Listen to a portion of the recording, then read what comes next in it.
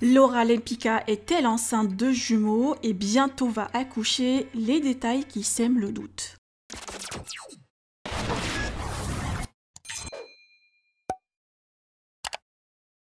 Laura Lempica, enceinte de 9 mois d'un petit garçon, hier, avec son futur mari Nicolas Lozina, était avec Magali Berda à Monaco. Les deux couples ont fait une session shopping et un restaurant.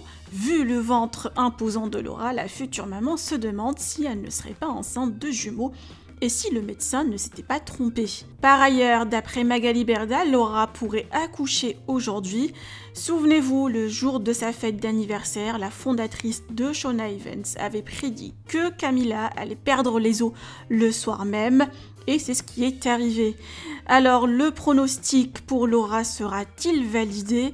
Je vous laisse avec les stories des deux femmes. Vous pouvez partager vos avis en commentaire et n'oubliez pas de liker la vidéo et de vous abonner à la chaîne.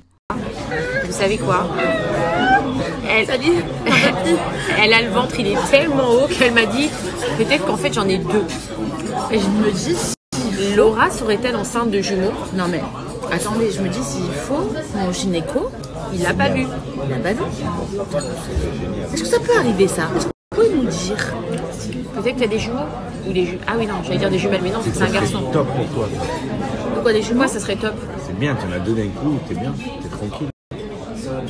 Ah, c'est dur quand même, ça doit être fatigant. C'est dur de d'un coup. Dans la vérité, les parents de jumeaux, je vous jure, je vous donne tout mon respect. Super, ouais, Non, ça doit être une super belle expérience. On est dans un bon mood parce que c'est un petit peu en pente, donc pour Laura c'est parfait. Ça monte, ça travaille mon ça périnée. Travaille. Attention, ça va lâcher les gars.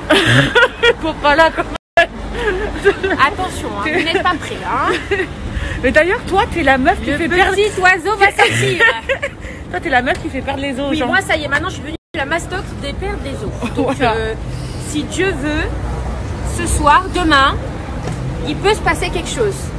On peut être sur. euh, 5 sur toi. On peut être sur une sortie imminente. Ou pas.